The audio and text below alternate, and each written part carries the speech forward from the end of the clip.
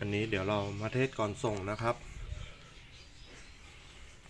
อันนี้ก็เป็นลูกค้าประจำนะครับ ซื้อขายกันมานานแล้ว ดูแล้วถ้าจะส่ง ถ้าจะส่งขนส่งกลัวพังมากถึงจะมีกล่องโฟมกล่องอะไร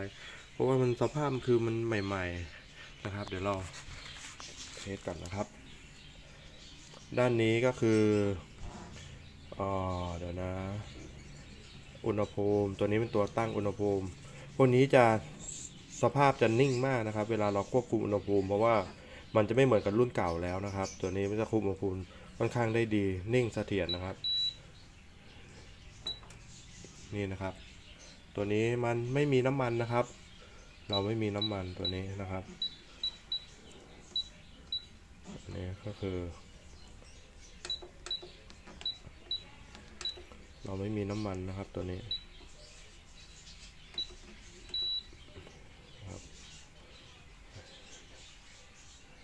ต้องมีน้ำมันนะครับ อันนี้ก็คือไฟเข้าปกตินะครับ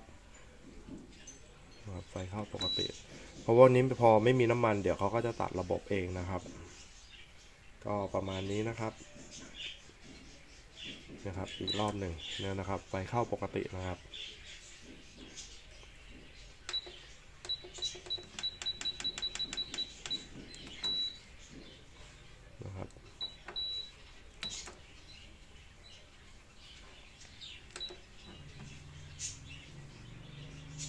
นะครับ ก็